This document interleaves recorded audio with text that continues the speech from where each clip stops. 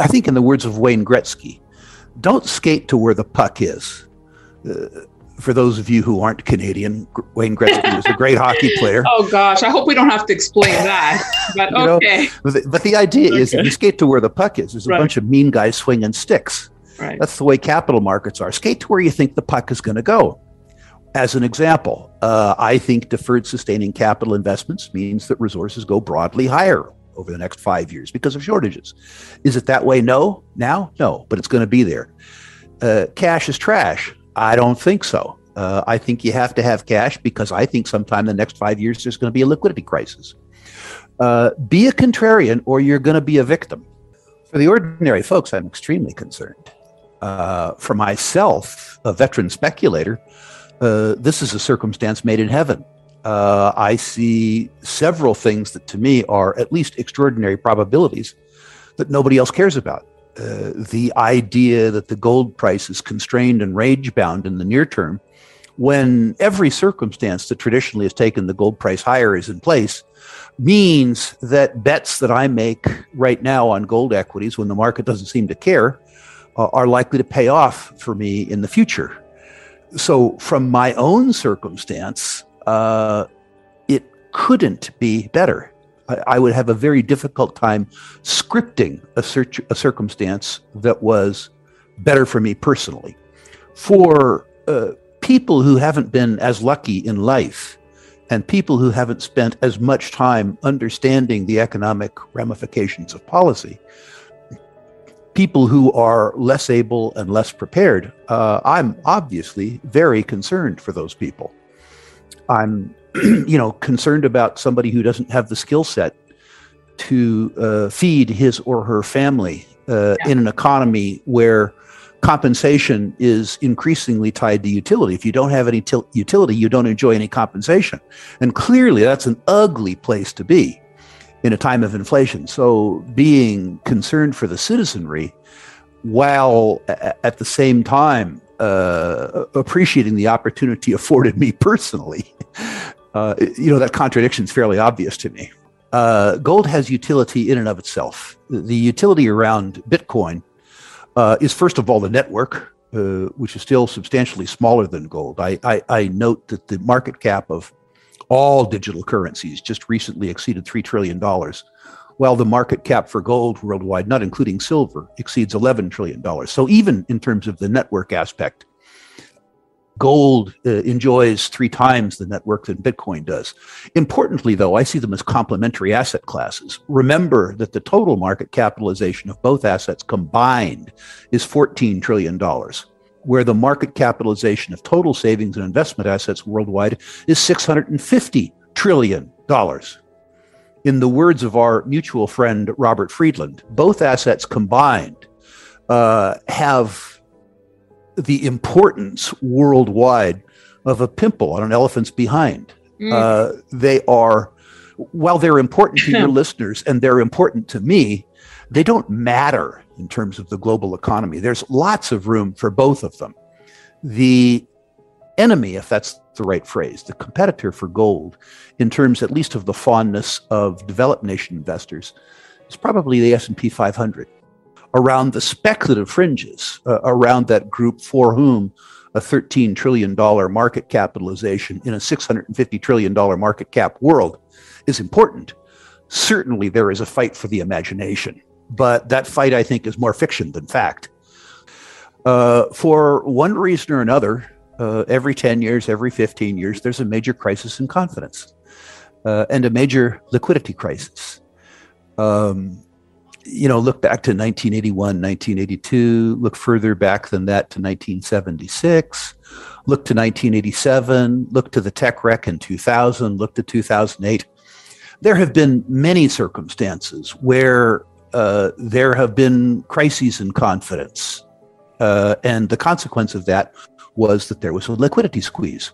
When markets don't have liquidity, markets fall and they fall irrationally.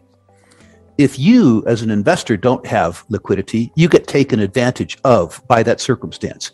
You panic and you get forced to sell. If you have liquidity and if you have psychological courage, you take advantage of the situation. So you need to decide for yourself uh, whether you're going to be a profiteer or whether you're going to be a victim. Uh, I would suggest that being a profiteer is better than being a victim. Take yourself back, Daniela, to 2008, okay. uh, when I know that you were conscious of the markets and you were probably far enough along in your career that you actually had some resources yes. too. Uh, the circumstance in 2008 was that people who had anticipated a potential period of illiquidity, irrespective of the origin, and had cash, had the ability to take advantage of equity markets where the prices had fallen by 50 or 60% right. with no change in the underlying value of the assets. If you converted that to physical goods, it was as though you were in your absolute favorite department store or clothing store, and everything on the shelves was marked off 60%.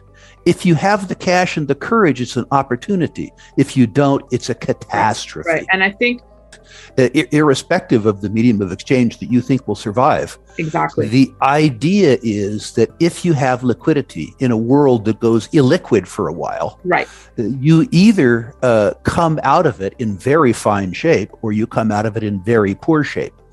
I like to tell my former clients, you know, now that I'm a retired gentleman, uh, a man of leisure, uh, I, I, like to tell my former clients that yes, when you hold cash, your purchasing power is deteriorating. It's deteriorating quarterly. Uh, but the deterioration in purchasing power, I would suggest, is an option payment. Because in a circumstance where you have a liquidity crisis, a, a confidence crisis, the opportunities that are available to you if you have the cash or the courage are spectacular. It's happened at least four times in my career now.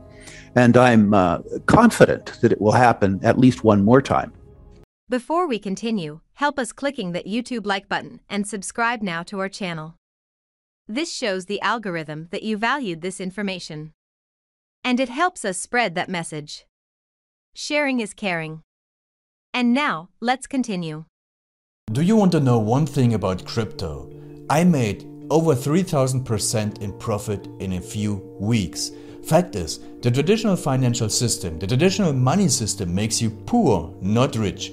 If you want to earn 500,000, 1 million dollar, you have to wait until you're 50, 60, 70 in the traditional financial system and you probably will still be broke. And you will be old. This is not a sexy combination as you can imagine. But the question is, how can you start in crypto and make these profits? Where to invest? Where to start? My name is Gunnar and I'm from Germany as you can hear and things are a little bit different in Germany. More about that later on. Fact is, there are lots of different cryptocurrencies. It's a gigantic universe where beginners and professionals get easily lost. But there is light at the end of the tunnel. There are seven key steps you need to follow to become successful in this market. You have to know them, and if you fail one of them, it's literally impossible to succeed in this market. Just an example, one of the key points is your exchange, and one of the biggest are, for example, Binance and Coinbase. These are trusted and well established exchanges, but, and this is a big but, you won't find the super profitable coins on those exchanges. The unknown super profitable coins that get gigantic profits are not traded on those kind of exchanges. They are traded on much smaller insider platforms that are barely known. And I can tell you what those super secret exchanges are and why they are so profitable. And another super important thing are the right information sources. The point is, the internet is gigantic. There are hundreds and hundreds of YouTube channels, blogs, pages, and much, much more. And there are also market makers and influencers. For example, Elon Musk, he is not a crypto guy, but the moment he recommended Dogecoin, it went through the roof, to the moon so to say. But why did he recommend it? Where did he hear it from? He didn't hear it from newspapers. And believe me, he is listening to someone. But you have to know who and you have to react before he is reacting. This is really, really important. And these are only two of the seven steps you have to follow in order to be successful in crypto. And if you want to know all of these steps in much more detail, and if you want to have a comprehensive checklist, here's what you should do. There is a link below this video. Click on this link and you will get the opportunity to subscribe to my channel. Click on the link and you will see a video where I explain the next steps. So see you soon. Click on the link now. I'll see you there.